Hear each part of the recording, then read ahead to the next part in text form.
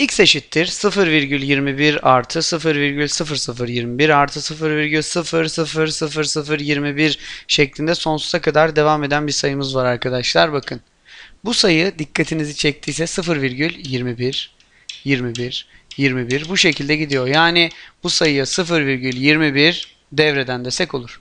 Aynı şekilde arkadaşlar bakın diğer sayıya bakın 0,3 3 3 3 böyle gidiyor.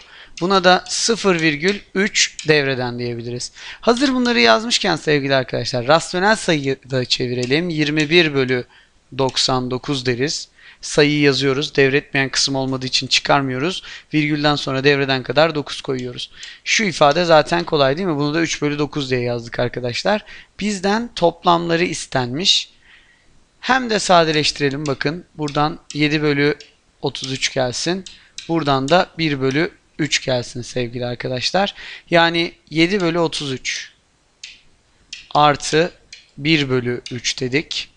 Burayı 11 ile genişletirsek sevgili arkadaşlar ne çıkacaktır? 18 bölü 33. Her iki tarafı da 3'e bölersek sevgili arkadaşlar 6 bölü 11 buluruz. Doğru yanıt B seçeneği olur.